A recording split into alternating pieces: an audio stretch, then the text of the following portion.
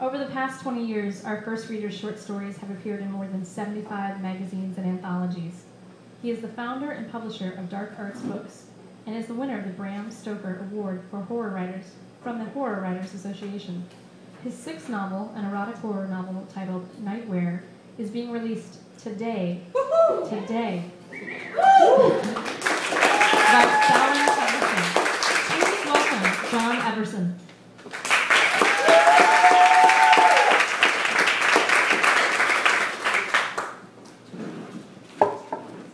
Did you catch that today? no, I'm really excited. Nightwhere actually has been out in ebook now for two or three months, um, but the publisher sort of has this delay, so ebooks came out first, and now today is the trade paperback release. So you should find it in stores, wherever there are bookstores, which seems to be less and less easy to find these days, but some bookstores apparently still exist and have it. So what I'm going to do for you tonight um, I always like to do sort of an excerpt from a novel, but I hate to just leave people with a piece of something because it's so unfulfilling. Um, I have books if you want any, so come see me. I even have a big promo poster over there from my publisher, which is kind of cool. Um, but I'm going to do an excerpt from the novel, and then I'm going to do a full short story, so you get a complete work. Um, I'm going to read from Nightwhere the prologue. And this will tell you almost nothing about the novel because the prologue is sort of a freestanding thing.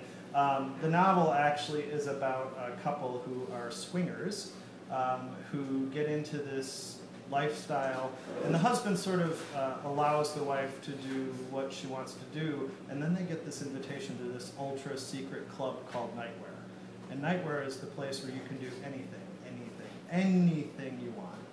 And well, Rae, the wife, really gets into it, and Mark, the husband, says, you know, maybe we should go home. um, and so ultimately what happens is Rae kind of gets lured into the club, and Mark is excised, and you only find Nightwhere if you get an invitation, because it's in a different place every month. So when Rae doesn't come home, Mark sort of has to go on this excursion to try and find his wife, and it's sort of a go down into hell to bring your life, your love back. Um, so that's what Nightwhere is about. The prologue is kind of a strange thing that will be explained later in the novel, but here's how it runs. The world stretched away in a field of stalks. They were everywhere, as far as the eye could see. At first glance, it looked like a cornfield, branch after branch after branch of amber leaves standing quiet and still in the faint summer breeze. But then Colum looked closer and saw that the amber wasn't truly amber. The color was lighter, more suffused with a blend of white and pink. There were waves of fleshy gray, not amber. And flesh was a good color description because the stalks weren't graying. The top of each thin trunk held a head. Blonde hair hung in ragged curls down the shoulders of many, while many other scalps were shaved. The brunettes stood out in the field their dark locks looking almost like spoiled produce in the midst of so much pale flesh, because it was truly a field of flesh. Thin, naked bodies, all standing straight and tall, arms at their sides, heads forced to stare straight ahead. Nobody hung their face, nobody lifted their arms. The sea of naked men and women stood as one, stiff and ready.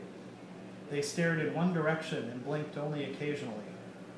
Mostly, they just stared and waited. What the hell was this place?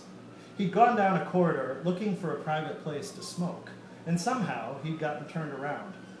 Melly always said he had no sense of direction. Of course, she was always the one who liked to give direction. He imagined back in the blue room she'd already surrounded herself with five guys, all of whom were following her commands and working with hands and lips to pleasure different portions of her anatomy. He needed to get back there to enjoy the view. But the old wooden door hadn't led him back to the swingers club. It had led him to this true obscenity, a Halloween nightmare. He walked forward until he stood at the beginning of the field, and now he could see the details of the bodies. He saw the breasts of broken teeth still clung to gnarled masses of pink flesh and yellowing bone that grew beneath a crushed mound that once might have been a nose. The face did not move. Its eyes did not blink.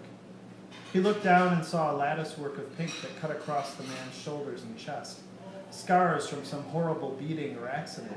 Scars like a roadmap to a destination that he did not want to know about. Are you the harvest or the harvester? The voice asked from somewhere inside the bodies. Voices whispered from deep within the rows. The field of flesh suddenly drew a breath as one. The sound was slow and deep, a building gasp of communal fear.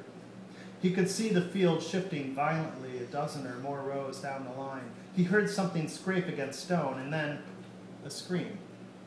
He turned, trying to locate the sound, but his vision was blocked everywhere by the bodies, and all of them had turned, if they could, craning their heads to stare at him, open mouthed. What? He hissed at the woman closest to him. Her bloodshot blue eyes looked as if she pried them open with toothpicks. Her lips were drawn back, as if she was about to scream. Nearby to his left, someone did. Are you the harvest or the harvester? A voice called again from deep inside the field. Barry turned and saw something black rise above the heads of the bodies just a few rows beyond. The bodies in that area seemed to move and shake, as if a heavy wind was cutting through the field. Then he saw it again, a row closer, and again. He began to back up, stepping down the narrow stone path towards the doorway he knew was just behind him, somewhere. He hadn't walked too far. And then he saw the pole and the long curved silver blade at its end, and the black hooded man who carried it. The figure raised the scythe high in the air, taking aim. The bodies all around him were staring in ghastly silence, breath drawn as if waiting for him to say something, do something. A whisper came at his shoulder Run! But it was too late for that. The blade descended, and someone in the field finally answered that insistent question. The harvest.